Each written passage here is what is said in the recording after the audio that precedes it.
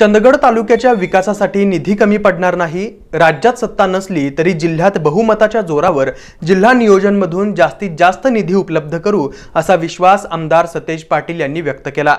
चंदगड नगरपंचायतीच्या विविध विकास कामाच्या शुभारंभ प्रसंगी ते बोलत होते. आमदार सतेज पाटील यांच्या माध्यमातून चंदगड नगरपंचायतीला गेल्या दोन वर्षात चार कोटी सत्याऐंशी लाख रुपये निधी उपलब्ध करून दिला होता. नगरपंचायतीला अग्निशमन दलाची गाडी फायर बुलेट गाडी शववाहिका प्रदान कार्यक्रम पार पडला.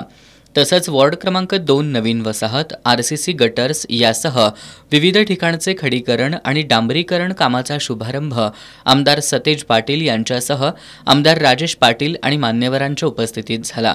यावेळी बोलताना आमदार सतेज पाटील यांनी महाविकास आघाडी सरकारनं जिल्ह्यासाठी जास्तीत जास्त निधी उपलब्ध करून दिल्याचं सांगितलं.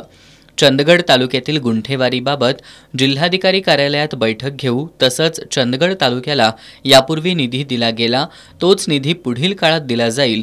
जिल्ह्यात काँग्रेस आणि राष्ट्रवादी पक्षाचे जास्त आमदार असल्यानं जिल्हा नियोजनच्या माध्यमातून निधी उपलब्ध होईल असा विश्वास आमदार सतेज पाटील यांनी व्यक्त केला. त्यामुळे पुढच्या अडीच वर्षात देखील काळजी करू नका. जसे पैसे माझ्या काळात येत होते तसेच पैसे चंदगडला येतील तुम्ही निश्चित राहा.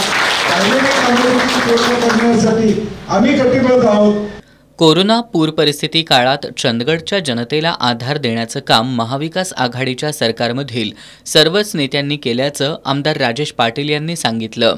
यावेळी नगराध्यक्षा प्राची काणेकर यांनीही मनोगत व्यक्त केलं.